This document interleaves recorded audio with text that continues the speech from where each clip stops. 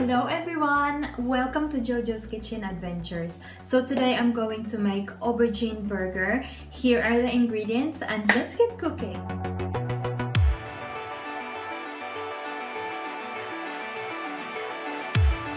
Where I came from in the Philippines, our aubergines are, are very um, skinny and long so they're very easy to cook and we don't usually fry them we cook it under the grill. But this one is big and it will take ages to grill so I'm going to have to fry it. Let's cut the stalk off the aubergine cut them in a half then cut them lengthwise.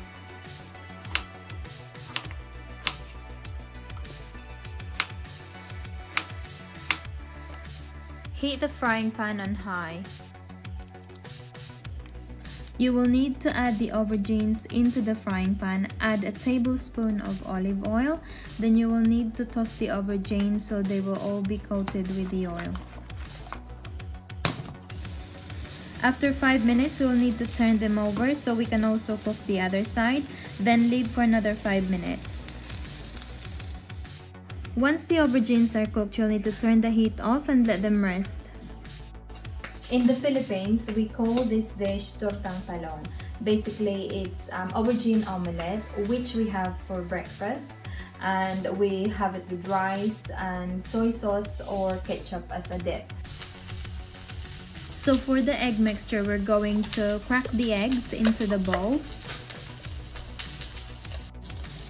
Let's season it with salt and pepper. Add the corn flour and we will need to beat the mixtures together to get rid of the lumps.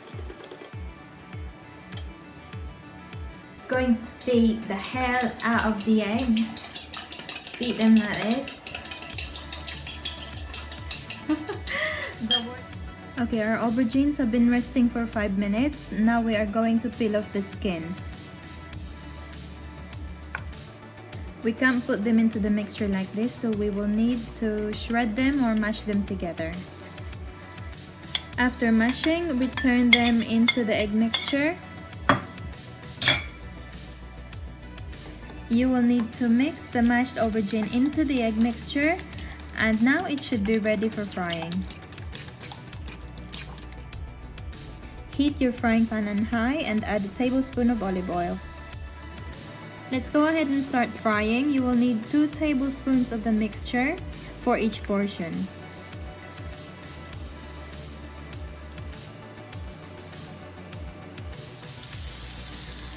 So after 2 minutes, you'll need to flip them over and cook the other side for another 2 minutes.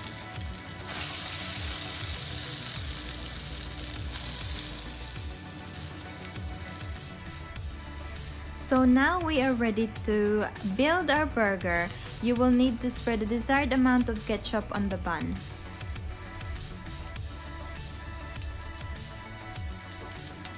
Add in your burger, tomatoes, then add some onion rings. You can also add some pickles as well if you like. Now let's add in our melted cheese. I've melted them in the microwave for 30 seconds.